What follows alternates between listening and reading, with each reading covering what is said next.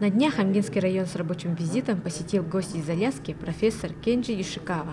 Профессор Ишикава является разработчиком международного школьного мониторинга по вечной мерзлоте. В данное время он уже год живет в Якутии и читает лекции студентам Северо-Восточного федерального университета.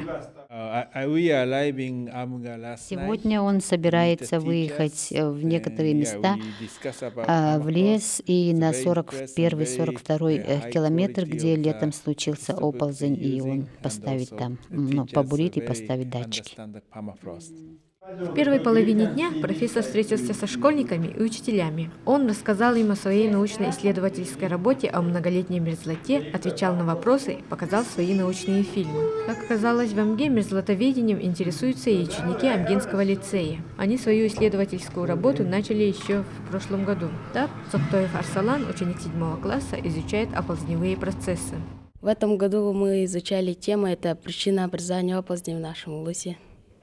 И в нашем улусе зафиксировано три оползневого процесса, то, что мы хотим ну, устранить процесс оползня. Во второй половине дня профессор с учителями и учениками ездили в 39-й километр трассы Амга-Якутск, где летом случился оползень. Там они совместными усилиями пробурили скважину, поставили датчики, которые впредь должны исследовать вечную мерзлоту. Данные этих датчиков должны войти в историю вечной мерзлоты, и в конечном итоге профессор Ишикава хочет издать об этом книгу. Тамара Бачугурова, Мария Иванова, Илья Лыткин, НВК Саха, Амга.